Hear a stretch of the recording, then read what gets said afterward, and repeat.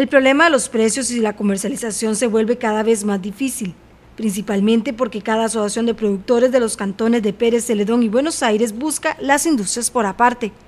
Por esa razón analizan la posibilidad de conformar cooperativas y a la vez unirse en un consorcio para presentar propuestas en conjunto. El tema está en la mesa y aunque no tienen definido una fecha, la intención es trabajar en el mismo.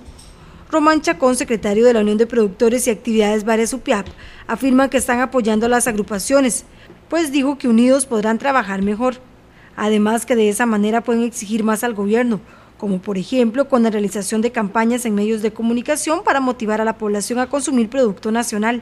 Y si los frijoleros como un consorcio se pueden hacer con una marca industrial, no les va a alcanzar el frijol para posicionar en los mercados.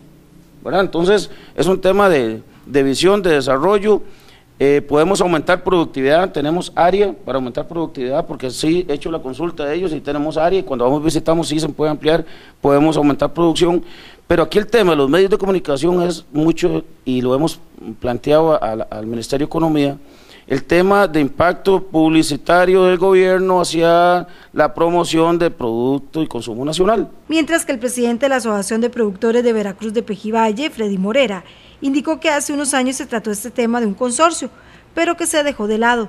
Ahora sería retomarlo. Lo del consorcio sería volverlo a retomar. Eh, prácticamente ya estaba conformado el consorcio hace, hace un poquito tiempo. Eh, y sí, cierto, yo creo que como en toda familia hemos tenido algunas diferencias. Eh, yo creo que todos hemos visto ahorita, en este momento, hemos sentido en carne propia que la situación no era tan fácil y que las cosas no eran como por culpa tal vez de uno u otro, sino que lo que hemos visto es que aquí si no nos unimos, realmente eh, vamos a estar siempre en desventaja con respecto a la industria, con respecto a cualquier otro tema que venga de camino. Morera precisó que unidos podrán alcanzar más beneficios y que este asunto de estar unidos podrá negociar más fácilmente y dejar de lado, por supuesto, las diferencias personales.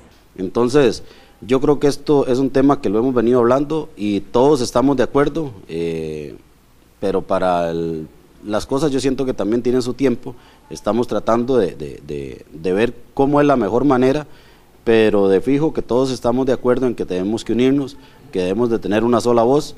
Eh, creo que en estos momentos de, problemática, cuando todos nos chima el zapato en la misma parte prácticamente, eh, es una manera fácil de, retomar o, o piensa uno que se obliga a la misma acción a retomar un tema de estos. De las agrupaciones, la Asociación de Productores del Águila de Pejivalle ya está trabajando en la conformación de una cooperativa, tanto así que en este mes se analizaría la posibilidad de convocar a una asamblea.